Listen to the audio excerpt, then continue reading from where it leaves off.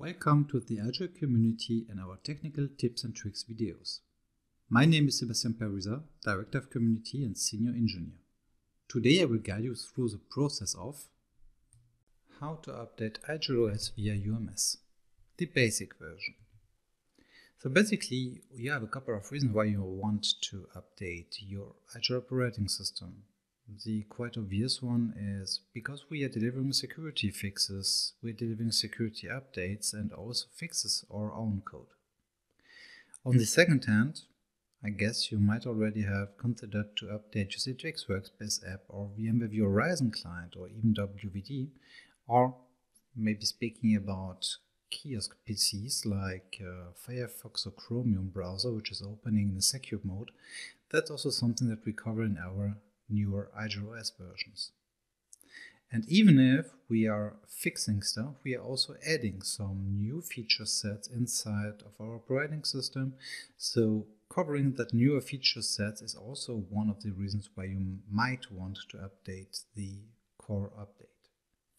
Last but not least, bug fixes in general coming from the outside world, coming from the Ubuntu organization or from the Linux kernel is something that we integrate in the operating system component.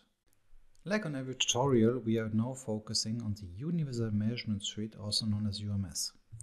So we have now a device which is having the 1105 133 version, but you might have to test another version, a newer one, an older one, or maybe a private build that someone sent you or you retrieved from the IGEL community. So first of all, before going too deep, I'm checking the actual version. I'm then checking by right-clicking the Universal Firmware Update folder, check for new firmware updates, which will check in general which firmware is available on our repository server, not only the newer one, corresponding to the endpoint that you registered in your database. So in my case, I'm today focusing mostly on the IGEL OS 11, which is the actual version we are using at the moment, and checking which firmware version I want to test. So in my case, I will download the 1105.120. If you don't see that window, or if you get an error code, you might have to consider to give your UMS server a proxy connection or a DNS connection to be able to download that files automatically via the UMS. If that isn't possible at all,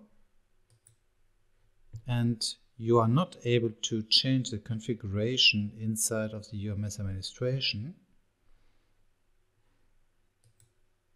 So let me show you the configuration I'm referring to.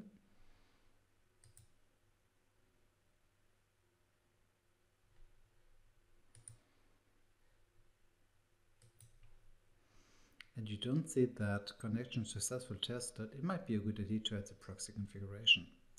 If you see a red button here, then it might also be related to your DNS. And please check also your geolocation rules if you're allowed to download from Germany or from the Netherlands. The second part of the window isn't that relevant if you don't use an FTP server where you want to store your files in addition to the UMS, that doesn't play a role. So if you still are not able to do that, you can go to igel.com slash software minus downloads and check for the latest OS versions from there and download it directly from the website. Let me just enter my informations.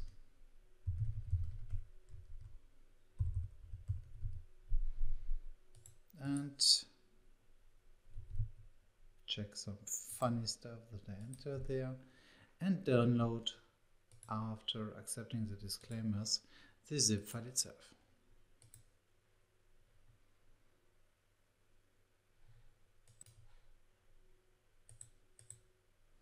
To be clear, the zip file I'm downloading right now will be more or less exactly the version that I will get through the actual UMS, so the process I started just before. It will just be a little bit different because I'm downloading a zip file and here the zip file is automatically downloaded into a temporary folder, extracted and uploaded into the UMS. But in my case, um, that's something that is working quite reliably. I would do also the step to upload the firmware instead of using the automatic download. So hold on a second and let's imagine the files already downloaded. So I have now a zip file. The zip file can easily be uploaded by right-clicking the Universal Firmware Update again, but this time please go to Firmware Archive between brackets zip file to Universal Firmware Update. Check the feature you want to use, the last one in our case. Select the freshly downloaded zip file and select a target directory, which in your case should be ums underscore file transfer by default. You have to select that one manually, even if that doesn't make sense because you don't have some other WebDAV directories integrated into the UMS, but just in case that's something I want to share because you cannot bypass that. So now that the file went uploaded, you might consider two additional checks. One is to double check that the host, which is listed inside of the, I would call it profile, is reachable by your endpoints. Or if you want to be sure to 100%, just switch from HTTPS UMS WebDAV to HTTPS and replace the host name or IP address by the hostname you want to be the host server for the download process. We will save that. And now the only thing you have to consider is drag and dropping that element to the endpoint or to the endpoints you want to update.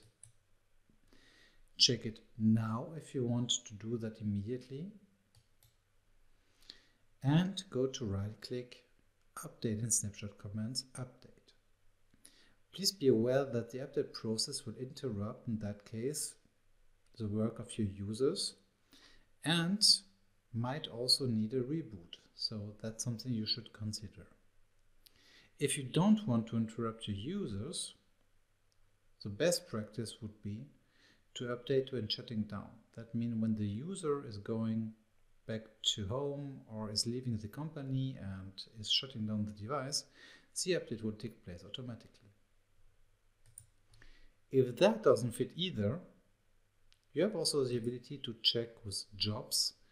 That's another tutorial we will cover how to automate the update process to specific times by using wake ups, etc. But that's the easiest way to assign and to update a device. Thank you for joining our technical video session. All links mentioned in this session are available in the show notes section of this video.